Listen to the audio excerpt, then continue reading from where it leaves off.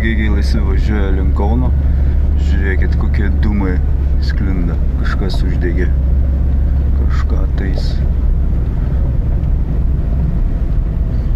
Na, čia paprasčiausios šiukšlės. Lapai. Bet tai ant kelio kokia kliūtis pasidarė.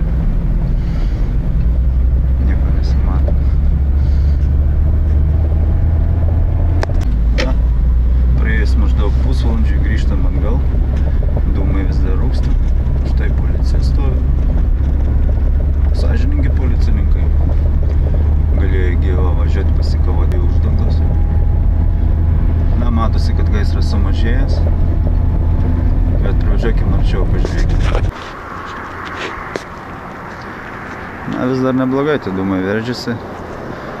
Pažiūrėkime iš arčiau, kas čia dega.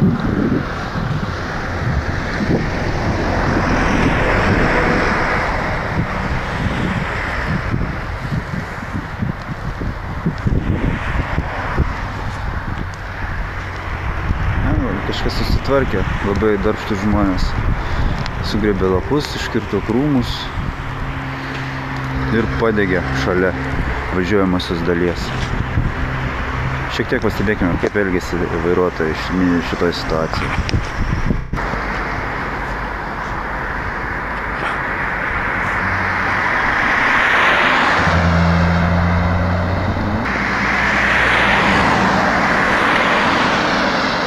Kažkaip net nepristabdo.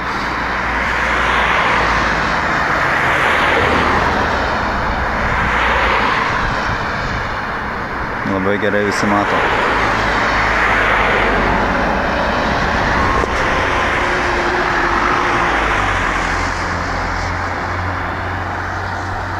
O čia tai ir degs ilgai. Mažiausiai kokias 2-3 valandas. Praktiškai šitiek laiko ir sutems jau.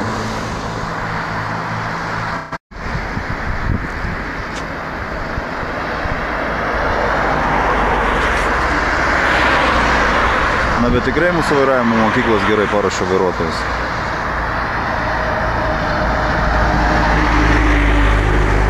Niekas net nepristabdo. Važiuoja visi kaip važiavę savo reikalais.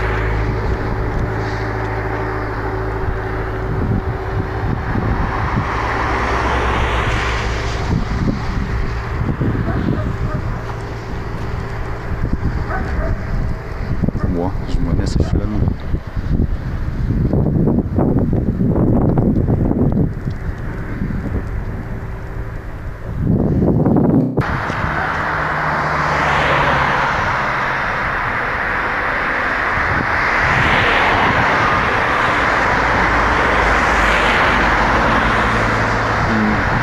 jiems taip gerai matosi. vairuotojai. O, vienas dar ir paspaudė.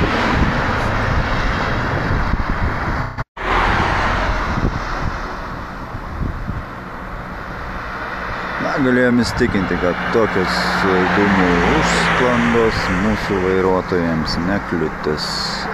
Ačiū uždėmesi.